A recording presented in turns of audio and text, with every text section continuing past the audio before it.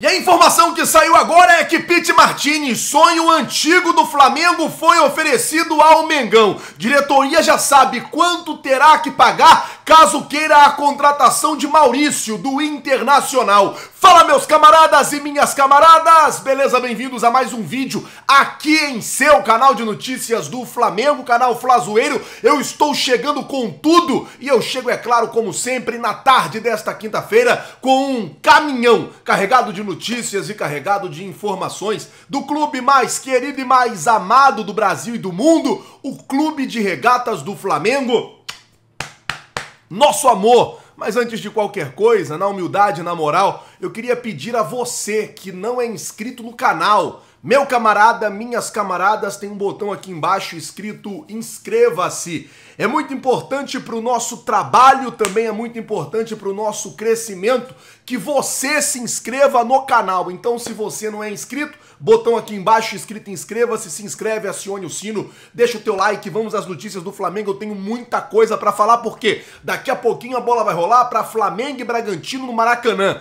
É um jogo para o Flamengo importantíssimo, porque vale para o Flamengo a volta para o G3 do Campeonato Brasileiro. O Flamengo pode ficar a dois pontos do líder Palmeiras ou a três do Botafogo, caso o Botafogo ganhe do Fortaleza. Hoje se encerra todos os jogos atrasados do Campeonato Brasileiro. A partir de hoje, todos os times terão o mesmo número de jogos. Então, assim, para o Flamengo é importantíssimo vencer essa partida, para o Flamengo é importantíssimo vencer esse jogo e para o Flamengo é importantíssimo jogar bem hoje para ter uma boa sequência no Campeonato Brasileiro. O técnico Tite teve dois desfalques aí de última hora. Eu nem digo desfalques porque os jogadores já não vinham sendo, já, já não vinham jogando, né? Tra Trata-se do Alan e também do Davi Luiz, que vieram treinando junto com o grupo, vieram é, inclusive sendo cotados para estar nesse jogo, foram liberados clinicamente pelo departamento médico, porém é, o doutor preferiu, ou o Tite mesmo ali, junto com o departamento médico, preferiu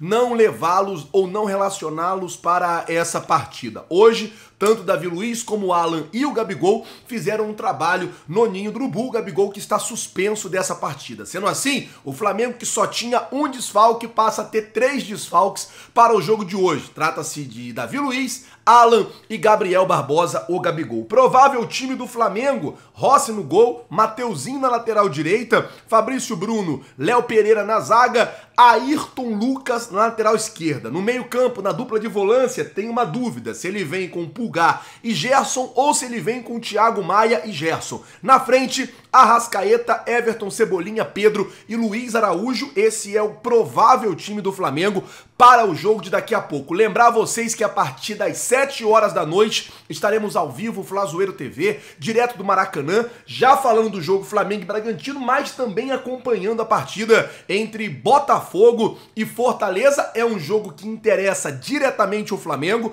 é um jogo importantíssimo para os interesses do Flamengo e o torcedor rubro-negro, é claro que vai ficar ligado em tudo que está se passando. E ó, você quer ganhar essa camisa aqui do Mengão? Flazoeiro, eu quero.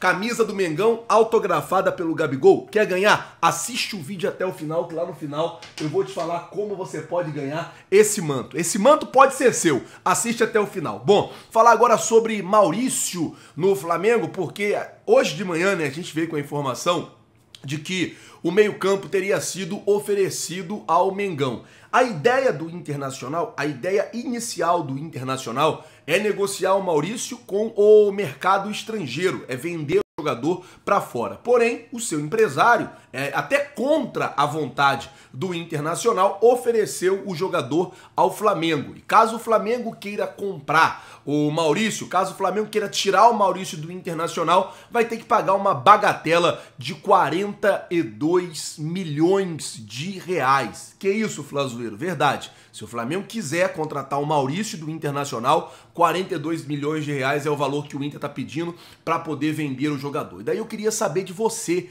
torcedor rubro-negro que assiste o nosso canal. Você traria o Maurício por 42 milhões de reais? Você compraria o Maurício? Você acha que é uma boa o Flamengo tentar a compra do Maurício? Coloca por favor nos comentários, lembrando sempre que o seu comentário ele é muito importante para nós e a sua opinião vale muito para gente. Comenta aí, por gentileza. Mudar de assunto, falar agora sobre Pete Martinez, porque essa informação que foi trazida pelo meu parceiro Mauro Santana, o locutor bacana, é, pegou todo mundo de surpresa, né? Ela saiu hoje mais cedo, que o Flamengo estaria recebe, recebeu aí também o oferecimento por parte do empresário Pete Martinez. Deixa eu explicar a vocês a situação.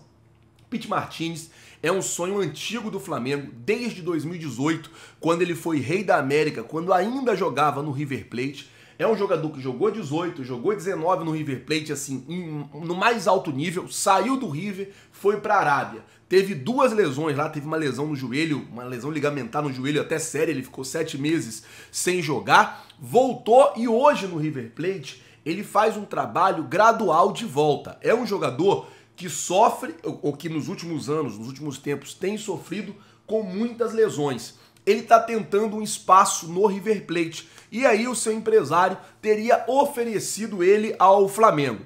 Ele tem contrato com o River só até o final de 2024. Então, essa agora, essa janela de transferência agora do final do ano, é a última janela que o River Plate consegue vender o jogador, já que na janela do meio do ano ele já sai praticamente para assinar um, um pré-contrato já não teria tanta dificuldade para resolver a saída do atleta. Então, assim, é uma oportunidade, mas é uma aposta. O Flamengo não pode. É, lembra, o Flamengo precisa lembrar que o Pete Martinez, que está no mercado hoje em 2023, ele já tem mais de 30 anos, não é mais aquele Pete Martinez de 2018, não é mais aquele jogador de 2018, já passou por algumas lesões sérias, já ficou um tempo sem jogar. Então, assim, não estamos mais não estamos praticamente né, mais falando do mesmo jogador. Como eu disse, estamos falando de um jogador que já tem mais de 30, que já não está mais indo para a seleção argentina, que já sofreu algumas lesões e que não está tendo espaço no River Plate. É desse jogador que a gente está falando e ele foi oferecido ao Flamengo. Pete Martins aí, uma opção, aparece como uma opção para o meio-campo, uma segunda volância do Mengão. Eu acho que o Flamengo tem que focar. Qual é o foco? O foco é Dela Cruz? Mano, vai no Dela Cruz. Não deu Dela Cruz, outro foco. Mas tem que ser rápido, não pode deixar, Flamengo não pode deixar essas negociações virarem novela. O Flamengo não pode deixar as novelas, elas virem se estendendo, elas virem se alongando. Não. Mano, tem, tem, tem negócio? Tem negócio. Faz negócio. Não, não tem negócio, não faz negócio. Segue o seu caminho e vai embora. Não adianta o Flamengo achar que, ah, não, é, tem negócio, tem negócio, não tem negócio, não tem negócio. Segue o teu caminho e vai embora, segue em frente. Eu acho que é assim que o Flamengo tem que pensar é, vamos, vamos torcer para que o Flamengo consiga fazer uma boa janela de transferência e consiga trazer grandes reforços nessa janela. Bom, falar agora sobre Gabigol, porque além de fazer trabalhos hoje é, na sua na sua separado dos demais, né? Foi ao Ninho, trabalhou normalmente. O Gabigol que tá suspenso porque tomou cartão vermelho no jogo contra o Fluminense. O Gabigol hoje postou um vídeo bacana é, comemorando ali os quatro anos, né? Para quem não lembra, hoje é dia 23 de novembro e faz quatro anos que o Flamengo foi campeão da Libertadores da América, um título que pra gente foi importantíssimo, um título que pra gente valeu muito a pena, um título que pra gente foi muito legal. Então hoje a gente está fazendo aí quatro anos, quatro anos que venceu, que foi campeão da América e é claro que é um dia muito feliz para todos nós rubro-negros. E por falar em Gabigol, esse manto aqui do Gabigol, ele pode ser seu. Como, Flazoeiro? Indo lá na Stake, agora, fazendo o seu cadastro, participando da promoção. Como é que é a promoção? A Stake é, é, é a melhor casa de, de odds aí do Brasil. E aí, como é que você faz para você poder para você poder participar? Você vai lá no meu Insta, mas tem que ir lá agora. É esse aqui, ó, Flazoeiro underline oficial Aí você vem aqui nos stories. Eu deixei o link aqui, ó, para vocês. Clica aqui no link, cara, e participa da promoção. A promoção é a seguinte: se você fizer qualquer depósito na stake, a stake vai dobrar o seu depósito e você aposta no jogo do Mengão hoje, tá pagando 2 e 1 um na vitória do Flamengo. Então faz isso. Você que quer participar dessa promoção, vai lá no meu Insta, mas vai agora, Flazoeiro Underline Oficial, clica nos stories, tem o link lá para você se cadastrar na stake e fazer o depósito. Fez o depósito, já está participando e aí você pode fazer ali a sua fezinha no jogo do Mengão, partida entre Flamengo e Bragantino no Maracanã. É a tua chance, é a tua oportunidade. Dá para botar uma grana no bolso e ainda concorrer a esse manto autografado pelo Gabigol, tá certo? Vou ficando por aqui, galera. Muito obrigado por tudo. Valeu, tamo junto. Vocês já sabem, é nós. Vai lá no meu Insta, tá lá para vocês o, o link nos stories. Só vocês clicarem e participar. Valeu? Muito obrigado, galera. Tamo junto e é nós. Valeu.